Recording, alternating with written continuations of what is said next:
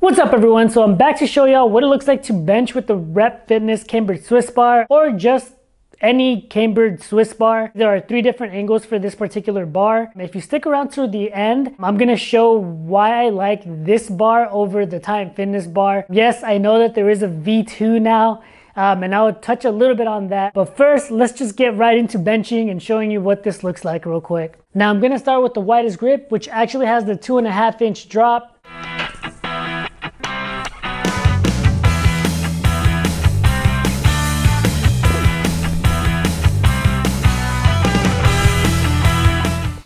Now I'm gonna move into the middle grip. So this one is at a different height of the actual weights, obviously.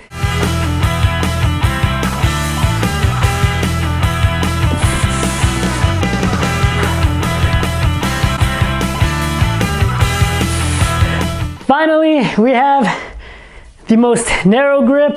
Honestly, I don't even know if I can do this with 45. Definitely more tricep focused, uh, but yeah, let's see.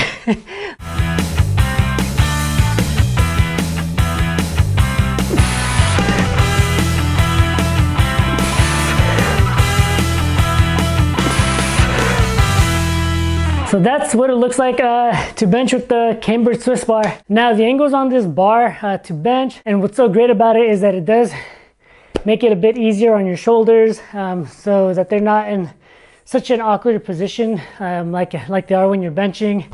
Um, so it is supposed to be nicer on your shoulders, a bit more forgiving. Oh man,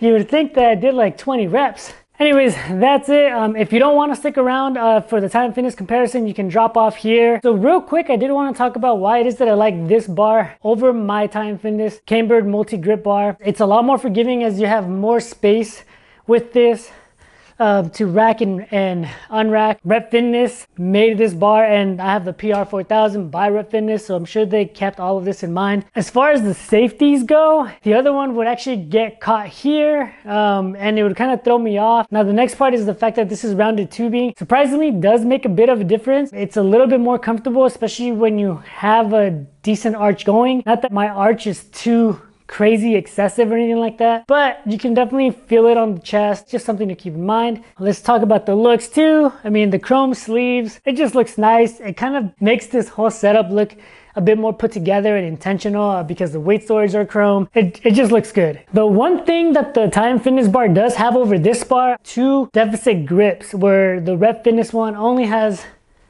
the one. That's kind of the downside, I guess. Like I mentioned before, I bought this bar because of the actual deficit. So I guess it, it kind of does defeat the purpose, but not really, because I still enjoy this bar much more um, and actually use it. I I stopped using the Titan Fitness one, to be honest. This one is not as clunky. It's not as bulky. It's easier to move around. It's just a little bit less awkward overall. Let me grab it real quick so y'all can see it. But this is what I mean. It does have two different grips for the uh, deeper deficit bench. Now let me show you real, real quick what I meant about the safety straps now that I have it here.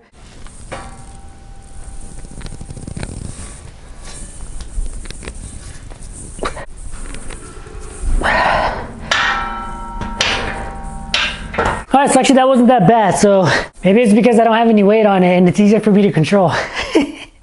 Anyways, this on the old bar measures a little bit over 40 inches. From here to here, it's 41. So obviously that's why there's not much space. With the V2 version though, from Titan Fitness, it looks like this to this ends up measuring around 39 and some change. Um, so they're definitely are giving you a bit more space, almost two inches. So it'll definitely be easier to unrack, re-rack during a bench. So if you have been thinking about it, this is a bit more inexpensive than the Rep Fitness one. It might be a good alternative. The last thing that I would mention is that there is no eye bolt here. And no, the V2 version does not have the eye bolt. Does it matter? Probably not. I've not used the eye yet um, with the Rep Fitness one. Um, and I've had that for a couple months now. I just haven't had a need for it and I haven't had, I, yeah. Thanks again for watching. This is your boy LJ and I'll catch you next time.